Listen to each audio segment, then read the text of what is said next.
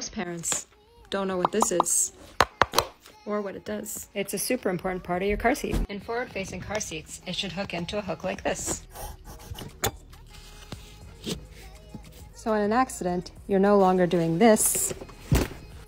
Instead, you'll do to this. If you're already new, ah. share with a friend who needs to know. If this is your first time hearing about it, give me a thumbs up in the comments.